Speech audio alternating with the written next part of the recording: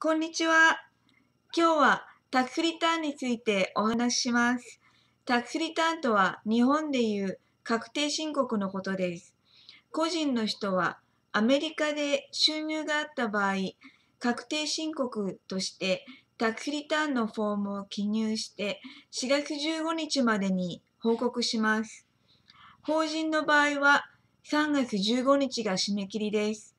個人の場合は間に合わない場合、10月15日まで延長を申請することができます。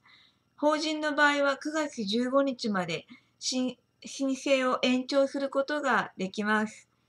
だから多少遅れそうだなと思ったら延長を申請することをお勧めします。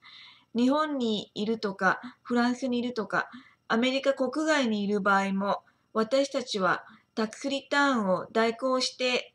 申請しております。申告の提出も電子申請なので遅れることや、またサインが必要だとか、いろいろな手続きで時間を取らせることはありません。アメリカに来る必要もありません。そして情報を電子メールでいただいて、こちらで手続きをします。必要なのは収入の情報、費用の情報、控除にできる情報、その他諸々のソーシャルセキュリティ番号だとか生年月日をいただいて、こちらで代行申請します。もしも遅れてしまった場合なども、すぐに提出をして、そしてその後、IRS に電話をして、または手紙を書いて理由を説明すれば罰金が少なくなることもあります。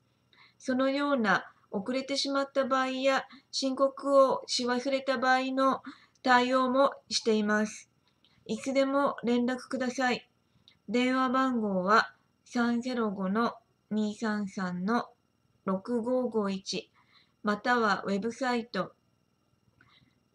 ドッドアカウンティング .com よろしくお願いします。